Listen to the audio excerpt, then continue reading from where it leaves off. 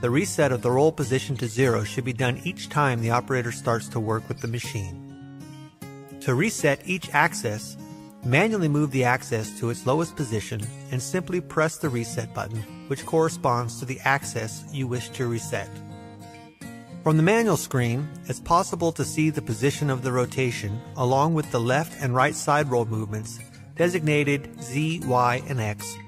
Creation of a new program is done by rolling apart and recording each step in the control to be repeated by the computer.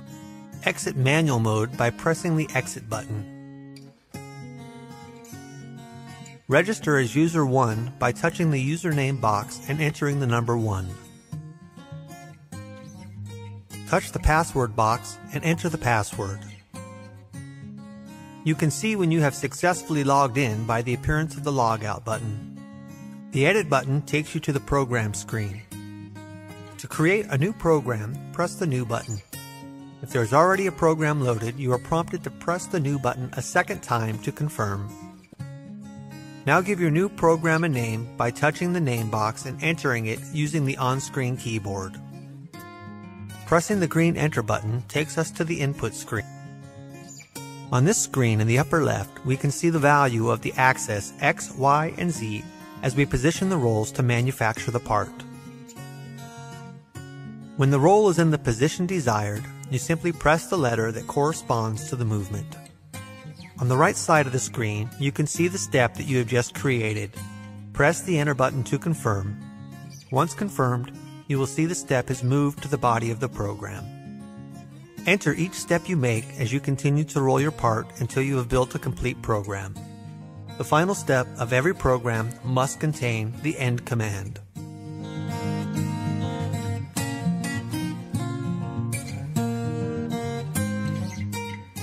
After the program is written, you must save the program. Press the exit button to leave the programming page and enter the store by touching the store button. Press the plus or minus button until you arrive at the number where you wish to save the program, or touch the program number and enter the desired number using the on-screen keyboard. Press the Save button to assign the program to the number selected. Reload the program to the active memory by pressing the Load button. To run the program, exit the store by pressing the Exit button switch the manual automatic selector to automatic and touch the run button to enter the execute screen. Press the start button and then hold the dual palm buttons on each side of the control pedestal to execute the program. To edit programs, return to the Edit Programs page and enter the program to be modified.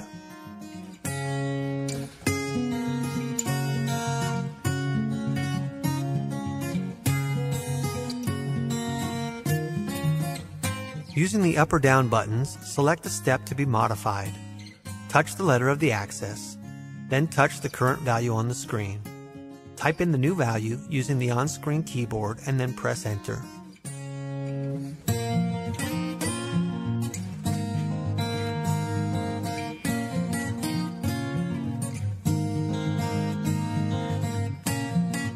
To delete a step in the program, use the up or down buttons to locate the step to be deleted and press the delete button. To insert a step, locate the step number prior to the location of the new step. Press Insert. An open space is created after the selected step. Input the new step information, pressing Enter to confirm.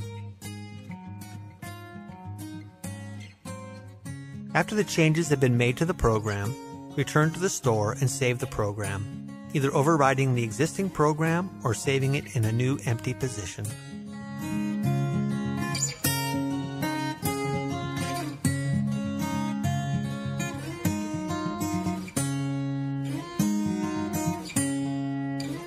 Contact MG